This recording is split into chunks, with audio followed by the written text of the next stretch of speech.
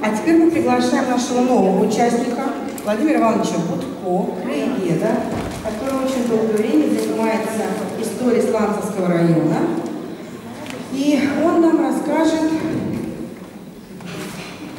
о Авревской, урожденной Арсеньевой, Санкт-Петербург, Вдовский уезд, поскольку сланцы не когда-то входили в Вдовский уезд Псковской губернии.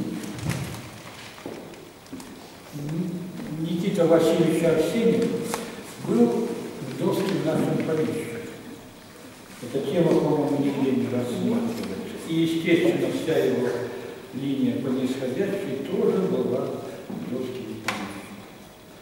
В Лермонтовской энциклопедии отмечены единственно кратком его родословие сын Емельян. Почему-то не отмечены две дочери – Елена и Ефимия. Елена была в замужестве Шмидт, вот. а Ефимия э, Вревская, Воронец.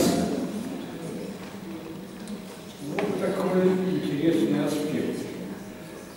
Лермонтов был знаком, конечно, э, с семьей Никиты Васильевича Арсеньева, все это знают, это хрестоматийные материалы, но он был знаком и с тетками своими, и с Еленой, и с Ефимией, когда он с бабушкой посещал известный дом Никиты Васильевича Коломбу. Э, Тетушки его, конечно, мало обращали на, племя- на племянника внимание.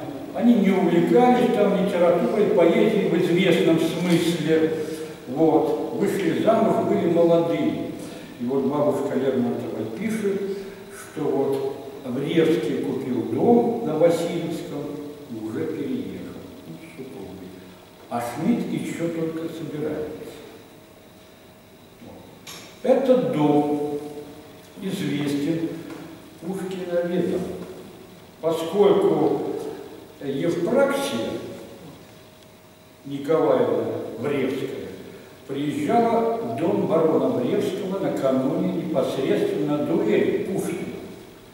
Все это знают. Факт хрестоматии. Пушкин четыре раза там был, но никто не отмечает, что э, женой этого барона была тетка Лермонтова. И это, в принципе, дает возможность предполагать, что тетушка как-то вот э, Лермонтову рассказала вот о содержании, извините, общения Евпраксии с поэтом Пушкиным.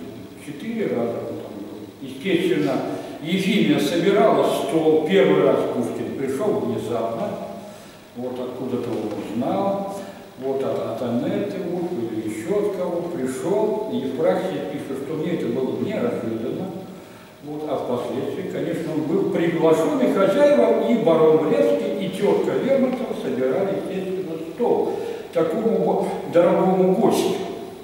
Естественно, вся семья Арсеньевых это знала, что э, Вревскую Ефимию посещал великий поэт, а потом еще разразилось это несчастье, вот это дуэль, он написал тут же письмо Геккерину. Конечно, тетушка что-то знала. Пушкин заказал Ефимии что-то говорить, но что-то за столом прозвучало, не, не мог он удержаться. Все знают, что он осуждал свою. Вот. Значит, Никита Васильевич Арсеньев приобрел с аукциона имение Чертово пустое в Довском уезде в 20-21 году. Он приобрел 6 деревень. И вроде в 20, 20 значит, 20-21, а в 26 году прикупил еще одну деревеньку, она называлась Язви.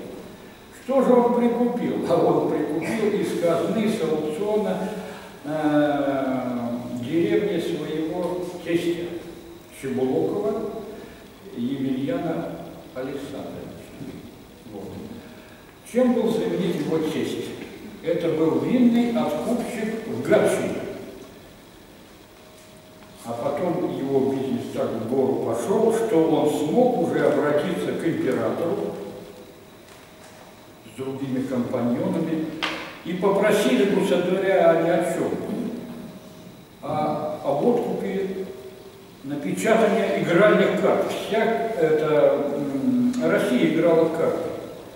И самое интересное, что император дал кар карт-бланш производству вот этой полиграфической сложной продукции, и был выпущен указ запретить ввоз западноевропейских карт в России.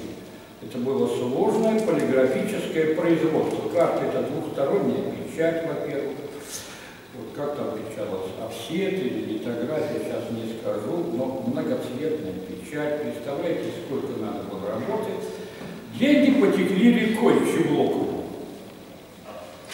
э, тестю Арсеньева Никиты Васильевича. Вот. И когда он в 14 году умирает, вдруг выясняется, что этот Чеблоков, тесть, должен много-много денег. И частным лицам, и в казну. Миллион. Сумасшедшая сумма. Вот. 300 тысяч только в казну. Описывают у него часть Гдовского имения. Есть версия, что это имение ему император дал. Там 2000 крепостных. Вот. И описали там много-много деревень. Но многое осталось. Кому они достались? А сыну его, Емельяну, э, с этими э, дочерьми. Четверо было наследников. А дочка его, которая была замужем за Никитой Васильевичем, Евдокия, видать, попросила мужа э, выкупить несколько деревенек с аукциона для себя. Она там была явно смолода. Он это сделал, купил, только за какие деньги, сказать сложно. Где-то 350 крепостных он выкупил. Вот. Из расчета того, что дочерям он потом передаст ну, завещание. Действительно, в 833 году он написал со своей супругой завещание. Я завещаю своим дочерям Елене 193 души мужского пола и Ефимии 183 поровну Хорошо, а где же сын? А сыну досталось Чеблоковский дом на Казанской улице в Санкт-Петербурге. Очень дорогой дом. Эм, сын, значит, смог продать этот дом за 135 тысяч. Елена, значит, в Довском уезде не стала базироваться, вышла замуж за Шмидта и, ну, и продала свои деревни. А вот Ефимия, она там долго-долго-долго э, пребывала. Она скончалась в 1885 году. Никита Васильевич со своей супругой, Ефимия со своим супругом и, значит, один из внуков э, Никиты Васильевича были похоронены в Троицком храме на Смоленском кладбище. Этот храм, к сожалению, не сохранился. В 1932 году был Бог снесен. Поэтому вот, вот этот дед и его семейство могилы не сохранились. Неожиданно в наших местах на Гдовщине я как краевед занимался, собственно, дружинином. Отсюда все пошло мое увлечение. Потом уже Лермонтовым начал заниматься года два последних. А Арсеньевых-то оказалось намного больше. Там оказались еще потомки Никиты а Никита Николая Дмитриевича Арсеньева, героя, значит, Измаила, тоже родственник Лермонтова. Вот. Надо смотреть родословие, я сейчас не привез. Вот. Небезызвестного Ахмердова, ее дочка там вышла замуж, Поросковья Николаевна, значит, Ахмердова дочка, Дарья Федор Харлан, владела у нас двумя сразу имениями, Сижна и Заудова вот сейчас будет у нас экскурсия, я честно буду рассказывать. Там храм сохранился фрагментарно, значит, действующий, в котором, допустим, внук этого Никиты Васильевича, Никита Конрадович Шемид был э, ну, председателем церковного попечительства.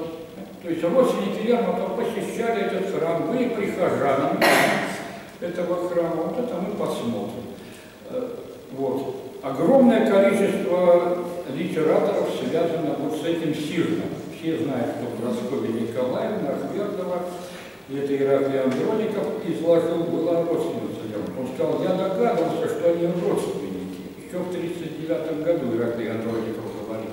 Но нигде он не соотносит э, Арсеньевых с Бедовским уездом. С Бедовским уездом соотнесла Арсеньев впервые, наверное, дружиновед из Самары Надежда Борисовна Алгонина. Она издала большую книгу по Дружинину. И вот Василий, Александр Васильевич Дружинин был соседом и близким другом Ефимии Никитичне в Ревске. У них усадьбы находились на Гдовщине в пределах прямой видимости через небольшое Маринское озеро. И когда Дружинину было интересно, он брал подзорную трубу и смотрел на усадьбу Ревскую. Дом ее располагался рядом с озером, метров 50 по картам. Вот. И Дружинский на берегу. Они давным-давно жили по сути, как брат и сестра. И не случайно поэтому в Дружининском дневнике постоянно четко Вревского присутствует. Десятки упоминаний. Своих детей не было. Разница в годах у них всего 10 лет было у Дружинина. Вот. Она была вдова с 32 -го года, а Дружинин не жена. У них симпатия была очень близкая с самого детства. Вот. У Вревской не было у Ефимии детей, но она имела воспитанницу воспитанницу, которая потом будет наследовать как бы ее имение. Вот здесь такой еще вопрос, что она наследовала. Девочку, которую она вас переживала, эту девочку, и дружи, Дружинин дружил с семьей Бревских и в Санкт-Петербурге, и, значит, э, на Гдовщине. Я здесь упоминал, что их дома были рядом на Васильевском острове, с Дружинина одно время жили той линии, а дом Мревской располагался на восьмой, в буквальном смысле рядом. Они носили друг другу почту, какие-то мелкие поручения исполняли. Бревская баронесса дружила с матерью э, Дружинина, которая, значит, запечатлена на известном полотне э, Федотова. Федотов, значит, был причастен Дружинин, как бы вот знакомит Брестскую со своим другом Григоровичем. Григорович к нему приезжал в Гдовское имение два раза, писал там и оставил очерк. Поездка в Гдовскую уезд. К сожалению, он ничего о Брестке там не упоминает. Брестская, значит, чем там занимались? Вот ее Евдокия. Поскольку отец в Санкт-Петербурге нес государеву службу, мы помним, у Лангинова, что очень хлебосольный был Никита Васильевич, Арсений значит. Все заготовки там делались в имении, каждый выходной, пишет э, Лангинов Михаил, что каждый выходной мы собирались. Собственно, Никита Васильевич был лидером санкт-петербургских Арсеньевых, значит, много надо было продуктов, из деревни доставлялись капусты, картошка, там, ну что, морковка, лук, а сколько спиртного там требуется, скорее всего. Потому что и тут, и там. Вот в этой деревеньке было, значит, часовенка. Мы через Дружинина узнаем, что вот на Илью там праздновали у Ефимии Никитичной праздники. Он пишет, что вот на Успение у баронессы предполагается фестий, празднество, и закололи поросенка. Но она же не могла поросенка съесть. Значит, с крестьянами делили. Дело в чем? В дружине написано, что э, если вот барин гуляет, то и тут же крестьяне во дворе песни поют, им пособия выдаются, и они напиваются. Вот, к сожалению, вот эта усадьба Дружининская, в которой бывали на охоте приезжал, вот, Григорович приезжал, не стало у нас вторым, значит, вот Михайловский, а высказывается предположение, что надо бы это сделать, профессор Алмонина пишет, оно такое же значение литературное имеет, как Михайловская. Самое поразительное, там сохранился домик Тургенева, крестьяне называют. Это не что иное, как флигель дружина, литературный, куда он приезжал работать. Моя творческая лаборатория. Баронесса, конечно, все это видела, все это понимала. Музыка была там, рояль, он пишет, балу баронессы. Но не под балалайки не писали. Естественно, под рэп. Вот. Домик Тургенева. Что там делал дружин? Вот он был такой, говорят, англоман. Тургенев, кстати, тему писал, вот он там, знаете что, четыре перевода сделал только одного Шекспира. Король Лир, говорят, до сих пор идет в переводе души. Писал там всякие прочие вещи. Когда приехали э, к нему Некрасов с Тургеневым, он родственнику Лермонтова Лангинова, написали там послание к Лангинову. Это из разряда стихотворений «Нет для дамы». Понимаете? Вот писал он много фельетонов. Там интересное есть место, где проживали дед и бабушка Блока. Они тоже, оказывается, каким-то образом связаны с Лермонтовым. Я вам скажу, что до Блока, до прадеда Блока, этим местом владел вот как раз Чеблоков. Зять Никита, фу, кто? Родственник Никиты Васильевича Арсеньева, понимаете? Последний владелец этого имения, которое получило название Преображенское, был Иван Волк, дядька поэта.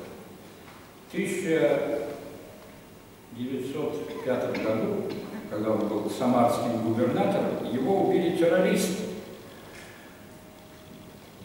Взорвали. Страшное дело. Но самое интересное, что у дядьки-то висела картина, написанная им самим, да, по мотивам демона, и вот она упала. Вот Такие есть свидетельства. Она упала, террористы взорвали. Вот. Ну вот, Ефимия Никитична, наша Гдовская помещица. Когда она умерла в 85 году, встал вопрос о наследовании. И Гдовские власти, полицейские, специализированные газеты дали объявление, кто наследник. А вот наследница объявилась вот эта Мария Политовна Вревская, ее воспитанница. Что значит Мария Политовна делает? Она пишет там нотариально какие-то вот документы, нанимает адвоката в нашем понимании, стряпцев или как предъявляют иск вот этой Вревской, что она вот 11 тысяч взяла каких-то денег, залог этого имения, вот такое дело запутанное. Я юридический аспект не совсем понимаю. Владела ли она потом Мария Политовна этим имением, которое называлось Юдовским или нет, сказать сложно. Некоторые источники говорят, что она владела только деревой, деревней Степанова. Степанова это в честь Степана Александровича Вревского И там была деревня названа в честь Никиты Васильевича, Никитина. Вот. В 1826 году в Довском уезде, в Лужском, отчасти Янгурском, прокатилась волна крестьянских бунтов. Настолько жестоко было, что туда вызвали войска. И войска вот располагались вот как раз в усадьбе родственника Никиты Васильевича, родственника Лермонтова, в усадьбе Чеблокова.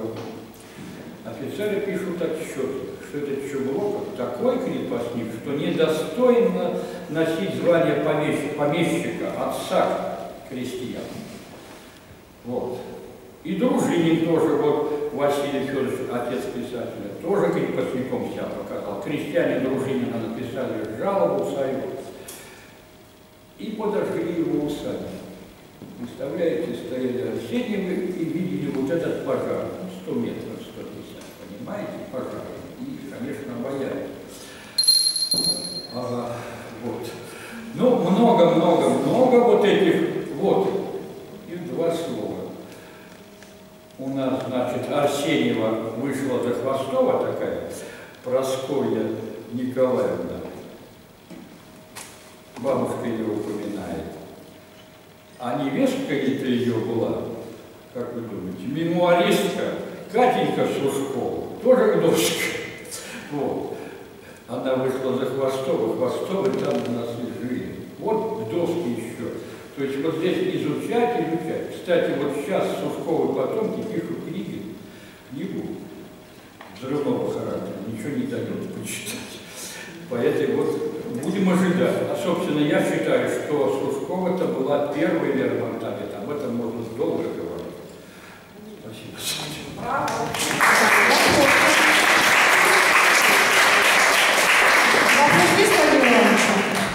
Вопрос. вопросов нет, да? У нас сейчас с вами получасовой перерыв, через полчаса встречаемся в этом зале.